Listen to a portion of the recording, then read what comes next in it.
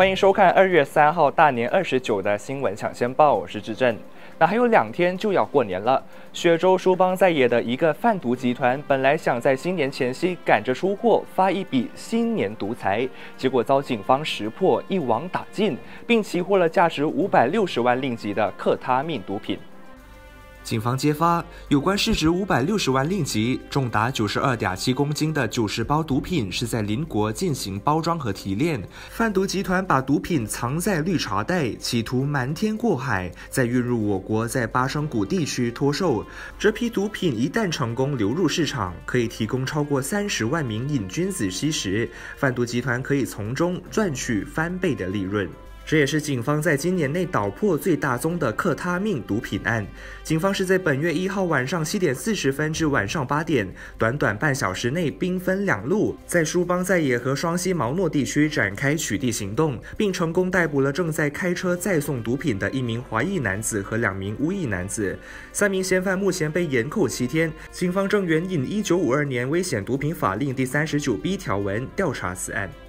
位于双溪大年大街的元隆金钻行，过去两个月连续遭持枪匪徒打抢，没想到今天凌晨又再度遭匪徒盯上，这次是飞天贼潜入盗窃。那同一家金店在短期内遭三度盗窃，可以说是祸不单行。元隆金钻行分别在去年十二月十五号及今年一月二十号被抢。第一次被抢时损失约二十万令吉，第二次劫匪再度闯入金店，却敲不破玻璃橱柜，并且触动了警铃，匪徒只能空手而逃。来到今天的凌晨三点多。一名独自干案的匪徒潜入该金钻行的厨房内，但基于厨房的门深锁，窃贼爬出后再从隔壁商店登上屋顶，再潜入金钻行的一楼。瓜拉姆拉县警区主任阿兹里透露，根据闭路电视的画面，嫌犯从屋顶潜入后，准备钻开楼梯旁的三甲板再潜入金钻行时，触动了防盗警铃，随后逃之夭夭。虽然窃贼还没来得及潜入金钻行就空手而去。但这已经导致金钻行面对约两千令吉的损失。警方也透露，嫌犯留长发，皮肤白皙，干案时穿着及膝的短裤、格子衣服，并带着吊带包。警方正援引刑事法典第四五七条文展开调查。新加坡政府早前宣布，将从四月一号起禁止拖欠交通罚单的外籍车辆入境该国。那柔州行政议员潘伟斯就建议，我国政府也可以采取相同措施，来一个你做初一，我做十五。潘伟斯也是柔州国际贸易投资及公用事业委员会主席。他昨天出席活动时说，实施这项措施的目的，并不是束缚或禁止外国车辆进入我国，而是维护国家主权。他认为，新加坡政府实施上述措施是新加坡政府的权利。大马或泰国车辆要进入该国，就必须遵守该国的法律。他说，相对的，为了公平起见，新加坡车主来到大马也必须遵守我们的法律。如果新加坡车主有交通罚单，就必须缴清。那明天是除夕夜，家家户户都会一家团圆吃团圆饭。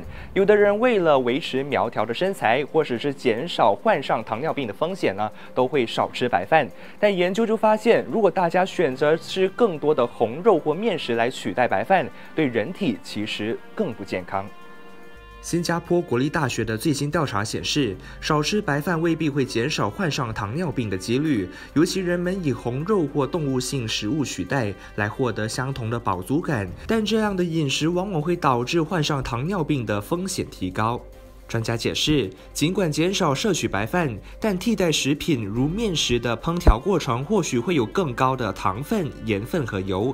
然而，如果以全麦食物或蔬菜来替代白饭，则可以降低患上糖尿病的风险。专家就提醒民众注意替代食品的选择，否则如果减少白饭却食用更多不健康的食物，只会适得其反。那在过年期间，大家也要记得注意饮食，别吃坏身子喽。那农历新年又是舞狮舞龙的季节，但是制作狮头的技艺如今可以说是买少见少。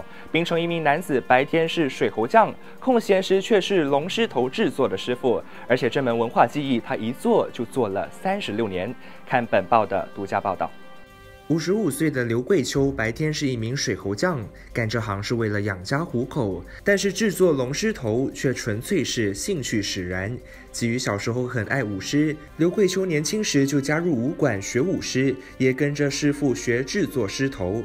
那一年，他从师傅那里讨来坏的狮头，回家自学钻研后，就一直做到现在。尽管刘桂秋是业余的狮头制作师傅，名气不大，但还是有武馆人或慕名者找上门来订购狮头。他透露，做一个狮头要十五天，如果以平均每年制作十五个狮头计算，过去三十多年来，刘桂秋已经制作了四五百个龙狮头。刘桂秋说：“制作狮头最难的部分不是上色或外形，而是解绑狮头的骨架，必须整个人钻进骨架，少点耐性都不行。一旦完成骨架，其他工序就简单了。基于制作狮头非常考验耐性，许多人学了两三天就放弃了，就连他的孩子也没兴趣传承技艺。那记者就问道：会不会担心狮头制作的传统文化技艺失传呢？刘桂秋只能无奈地说。”担心不来，以后再打算。那槟城一名退休人士倪振喜，过去三十年来与猪结下了不解之缘。爱猪成痴的他，共收藏了高达两百多个各式各样的猪造型公仔，不管是任何材质，都应有尽有，令人大开眼界。新闻结束前，就带您一起去看一看。那在这里也要提醒您，虽然明天和后天中国报会配合农历新年休息停刊两天，但是新闻抢先报还是会准时在晚上的七点为您送上。在这里也要预祝大家过一个幸福美满的猪猪年，诸事如意，新年快乐！我是志正，祝您晚安，再会。